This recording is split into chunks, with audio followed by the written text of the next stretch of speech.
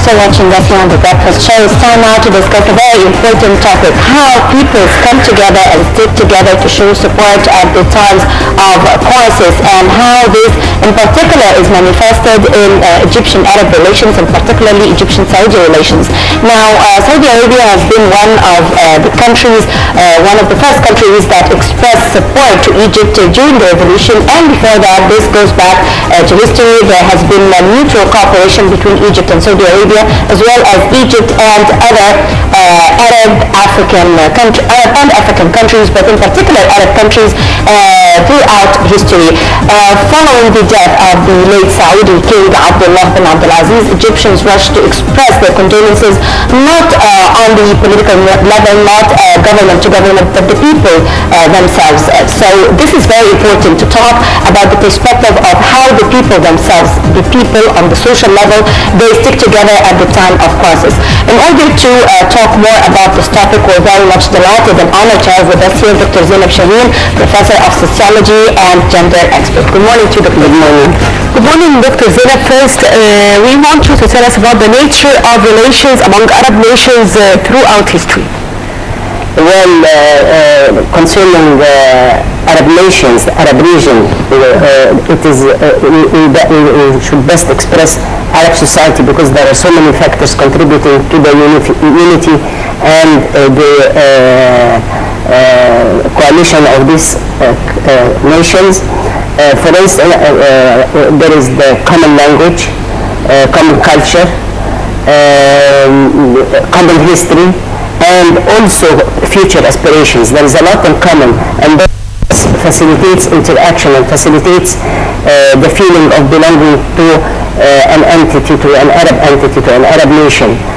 Uh, this also contributes to mutual uh, cooperation, as said, and mutual dependence. And uh, rightly said when you said uh, when you expressed that people were uh, uh, contributing to this, to the condolences and sharing this event with Saudi Arabia. And I would add that it was really a genuine expression. It was not just a matter of participation, but it, it really it was a uh, genuine expression. Yes, because it was a mutual thing, Dr. Zina, because Saudi Arabia, when it first emerged as a country, um, the Egyptians were the first to go there as teachers, as engineers, as university professors. So the Saudi people, I'm talking more on, this, on the level of the, the people. Yeah. The, uh, there's a whole generation that uh, owes uh, uh, gratitude uh, to the Egyptians. They feel that uh, they have been taught by Egyptians. Their country has been built by so many Egyptian, Egyptians. So there is this feeling of, you know, um, unity, mutual- coalition, mutual Exactly. dependence and cooperation.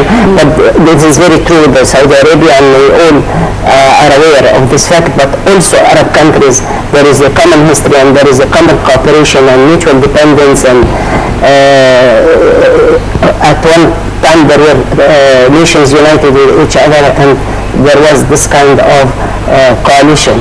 So because of these factors, uh, similar culture, same culture, more or less language, religions, so it uh, contributes to the solidarity of this region and therefore genuine expression of feelings and emotions in, in crisis. And the case, of, um, case in point is that of Saudi Arabia. So, in your opinion, how can we preserve this solidarity among Arab nations?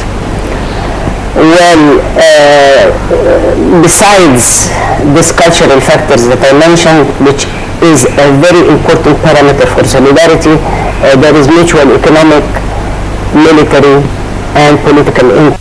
If these interests are realized and as working in the favor of both entities or entities involved, this would contribute to further unity and further uh, uh, interdependence. Uh, uh, Dr. Zeinab, we can talk more about uh, the people, uh, the Egyptians and uh, the peoples of the region, of the, the Middle East region. How do you see uh, mutual cooperation, mutual understanding between the peoples themselves? Away from politics, away from the official uh, Within each state or uh, yes, within each state. well, uh, dependence is there is a very important requirement of mutual interdependence and uh, relationship, as you have just mentioned, uh, that both parties are really benefiting from this relationship. We don't want to have exploitative kind of relationship where the, the those who have means exploit those who don't have means. So this kind of relationship does not lead to uh, genuine expression of uh, unity and solidarity. So it has to realize the interest of whatever parties involved, whether uh, economic uh, interest, political interest, or uh, military interest. There must be some kind of benefit the people involved. It, it, it doesn't work that one party is benefiting and the other is being taxed for this kind of relationship. And the more exploitative relationship, the less unity and the less feeling of belonging and uh, uh, you know involvement in this with this country uh, or with this group of people is realized. So, uh, how do you explain uh, the popularity of late King Abdullah uh, all uh, Arab uh, uh, people and in your opinion, uh, did he succeed in uniting all Arabs together? Well, absolutely, and uh, and the fact is the, the, the expression, the genuine expression of people, uh, and, uh, uh, expression on the part of the masses, expression on the part of the regime. All this manifests how much he put for Egypt and how much he collaborated with Egypt's interest and, and, and contributed to uh, and sided uh, Egypt in different crises, in different uh, periods where Egypt needed uh, this kind of Yes, in 1973 war, he supported Egypt and in many other occasions. Mhm. And I really, the thing that touched me most is that of their genuine expression, the people's genuine expression, uh, groups' genuine expressions, regimes' genuine expressions. So it was really uh, authentic and, and genuine. Okay. Well, we have a special report about uh, the late king, uh, Abdullah bin Abdulaziz Al Saud. We will watch the report and we'll be right back. Stay with us.